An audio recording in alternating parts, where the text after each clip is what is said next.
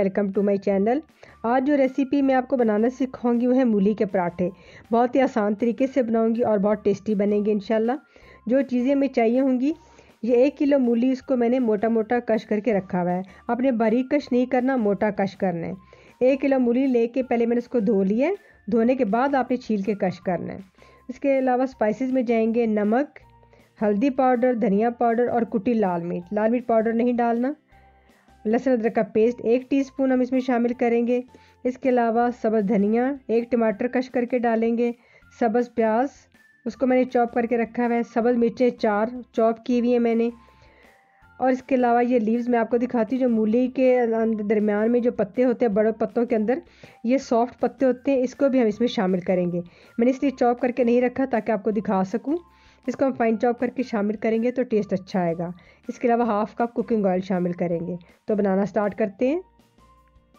यह पत्तों को, जो मैंने आपके, आपको दिखाए थे मूली के पत्ते, उसको मैं अच्छे से चॉप कर लेती हूँ। इनको आपने अच्छे से चॉप करना है क्योंकि मूली के पत्ते सख्त होते हैं और नरम नहीं होते। इससे इसका टेस्ट अच्छा आएगा मसाले का। कढ़ाई में सारी मूलियाँ मैं डाल रही हूँ। ये जो पानी आपने देखा होगा डालते हुए ये मूली जब कश करते हैं तो उसका पानी निकलता है, वही पानी इसमें साथ ही हम शामिल करेंगे। सारी मूलियाँ मैंने कढ़ाई में डाल दी हैं।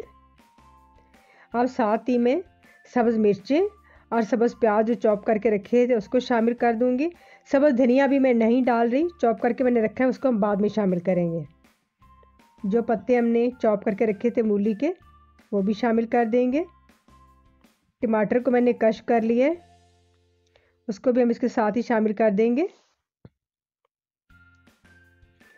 आपने कश करके टमाटर डालने, चॉप करके नहीं डालने, ताकि टमाटर का छिलका ना आए। मैं कश करने का तरीका अक्सर रेसिपीज़ में पहले आपको बता चुकी हूँ। लहसुन अदरक का पेस्ट एक टीस्पून डालेंगे।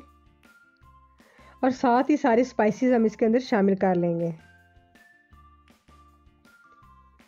सब्ज़ मिर्ची मैंने चार फाइन चॉप करके डाली थी। अब इसमें मैंने दो टीस्पून कुटी लाल मिर्च डाल रही हूँ। आपने लाल मिर्च पाउडर नहीं डालना, कुटी लाल मिर्च डालेंगे। मिर्च और नमक आप कम ज़्यादा कर सकते हैं अपने टेस्ट के मुताबिक। एक टीस्पून धनिया पाउडर हाफ़ टी स्पून से भी कम हम हल्दी पाउडर शामिल करेंगे इसके अंदर। और तकरीबन मैं अपने टेस्ट के मुताबिक तकरीबन दो टीस्पून लेवल नमक डाल रही हूँ। आप अपने कम ज़्यादा कर सकते हैं टेस्ट के मुताबिक। हाफ़ कप कुकिंग ऑयल डाल दिया मैंने। तमाम चीज़ों को अच्छे से मिक्स करेंगे।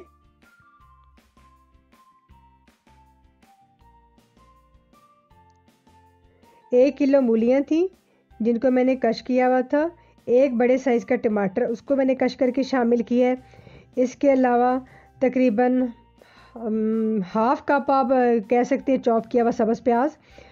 और इसके अलावा वन टीस्पून लहसुन अदरक का पेस्ट दो टीस्पून कुटी लाल मिर्च हाफ़ टी एक टीस्पून धनिया पाउडर, हाफ़ टी स्पून से भी कम हल्दी पाउडर और नमक आप अपने टेस्ट के मुताबिक डालिएगा। इसके अलावा हाफ़ कप कुकिंग ऑयल डाला।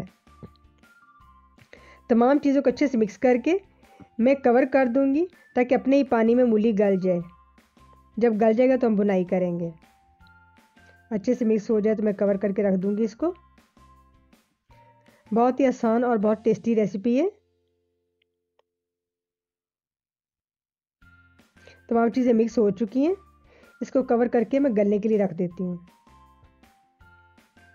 यह तकरीबन 20 से 25 मिनट मैंने इसको कवर करके रख दिया था। और ये हमारी मूली तकरीबन गल चुकी हैं। ये देखिए, मूली ने अपना पानी छोड़ा हुआ है। इसको अब अच्छे से हम इसकी बुनाई करेंगे। मूली को बहुत ज़्यादा आपने सॉफ्ट नहीं करना थोड़ा हल्का हल्का क्रंच इसमें आना चाहिए। सिर्फ़ 20 मिनट मैंने इसको कवर करके रखा था। आप अच्छे से बुनाई करेंगे ताकि जितना पानी मूली का है इसके अंदर वो सारा खुश्क हो जाए।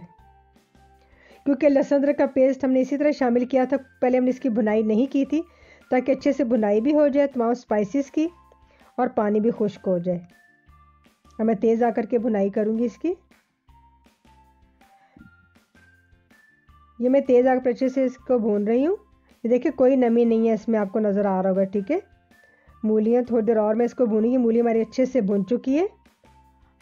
अब इसमें सारा सब्ज़ धनिया मैंने शामिल कर दिए। सब्ज़ धनिया, पहले मैंने इसलिए नहीं डाला, ताकि बाद में एक तो उसकी लुक भी अच्छी आएगी और फ्लेवर भी अच्छा आएगा। शुरू में आपने धनिया शामिल नहीं करना है। अच्छे से मिक्स करेंगे। हमारे मसाला भून चुके अब आटा मैंने नॉर्मल जैसे रोटी का आटा होता है, उसी तरह गूंद के रखा हुआ है।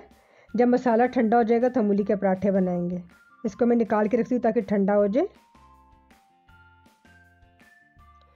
ये मसाला मैंने प्लेट में निकाल के रख लिया था मूली का। ये ठंडा हो चुके अब हम रोटी बनाना स्टार्ट करते हैं। आपने एक चीज़ का ख्याल रखना है कि अच्छा स्पाइसी बनाइएगा, क्योंकि जब रोटी के अंदर डालें तो स्पाइसी थोड़े कम हो जाते हैं। ताकि अच्छा स्पाइसी पराठा बने आपका। छोटे साइज़ के पेड़े बनाने इस तरह से। छोटा पेड़ा, जैसे पहले मैंने आपको आलू के पराठे बनाने भी सिखाए थे तो छोटे साइज़ का पेड़ा होगा तो आपका पराठा अच्छा बनेगा, जो भी आप इसके अंदर फिलिंग करेंगे तो अच्छे से फ्लेवर आएगा, ताकि रोटी बिल्कुल बारीक होनी चाहिए। ये, एक ही साइज़ के मैंने ये चार पेड़े बना लिए दो पेड़ों से एक रोटी बनेगी। तो बनाना स्टार्ट करते हैं। इसको मैं बेल लेती हूँ। रोटी आपने बिल्कुल पतली बेलनी है, पेड़ा आप छोटा लेंगे तो ही आपकी रोटी बारीक बेली जाएगी। क्योंकि अगर बहुत मोटी रोटी हो तो उसमें फिलिंग का मज़ा नहीं आता है, कोई भी फिलिंग आप, कोई भी फिलिंग वाला पराठा बना रहे हो तो। ये देखें, दो रोटियाँ मैंने बेल के रखी हैं, ये देखिए कितनी बारीक बेली हुई, ठीक है? अभी मसाला इसके अंदर हम जब फिल करेंगे, उसके बाद थोड़ा सा और इसको बेलेंगे। अच्छे से मसाला डालेंगे। सारा अच्छे से कवर कर देंगे। आलू की रोटी जब मैंने आलू का पराठा बनाया था, वो थोड़ा डिफरेंट तरीके से था। इसको उस तरीके से नहीं अंदर फोल्ड किया जाता क्योंकि जो मूली का मसाला होता है, उसमें थोड़ी नमी होती है। सारा अच्छे से मैंने मसाला लगा दिया। अब दूसरी रोटी को ऊपर रखेंगे और साइडों से किनारों को अच्छे से सील कर लेंगे। अच्छे से दबा के आप सील कर लीजिएगा।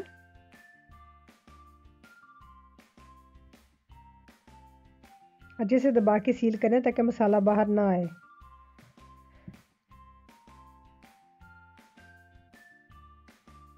हल्का से इसको और मैं बेलूँगी हल्का सा आटा लगा के और बेलेंगे ताकि मज़ीद पतली हो जाए रोटी।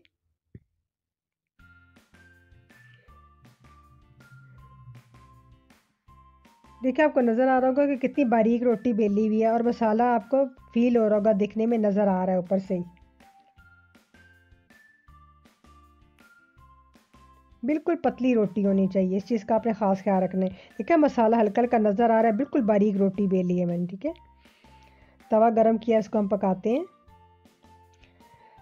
हल्का सा हाथ पे दोबारा मैं रोटी को थोड़ा झाड़ रही हूँ, ताकि और मज़ीद पतली हो जाए। देखिए। तवा मैंने गर्म करके रखा हुआ था। देखिए कितनी बारीक रोटी है, ठीक है? आपने इस चीज़ को मैं बार बार अक्सर हर रेसिपी में बात रिपीट करती हूँ, ताकि आपको अच्छे से बात समझ आए कि रोटी आप बारीक रखेंगे तो आपको कोई भी फीलिंग होगी तो उसका आपको टेस्ट अच्छे से आएगा। हल्की आग पर आराम से पकाएँगे। एक साइड से पक गई, इसको उलट देते हैं।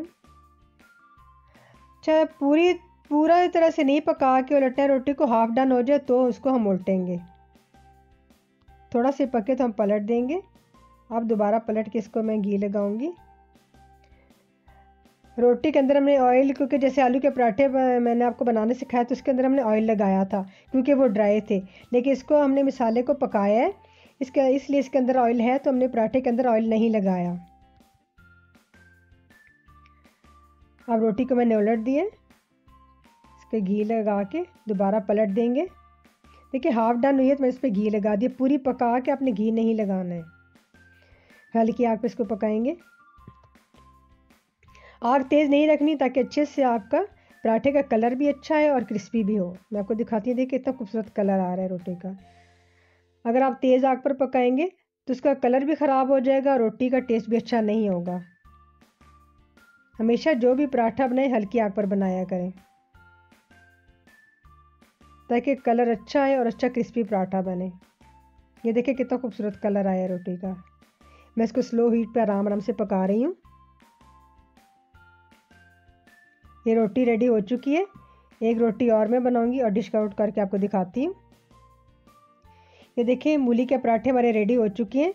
इसको मैंने ग्रीन चटनी के साथ सर्व की है। आप चाहें तो सब, दही के साथ भी सर्व कर सकते हैं। ये देखिए मैं आपको दिखा देती हूँ अंदर से भी। अच्छे से भर के मसाला लगाना है उम्मीद आपको सारी रेसिपी अच्छे से समझ आ गई होगी। आप ज़रूर ट्राई कीजिएगा, आपको पसंद आएगी। पसंद आए तो लाइक करें और प्लीज़ सब्सक्राइब करना ना भूलेगा बहुत शुक्रिया, अल्लाह हाफिज़।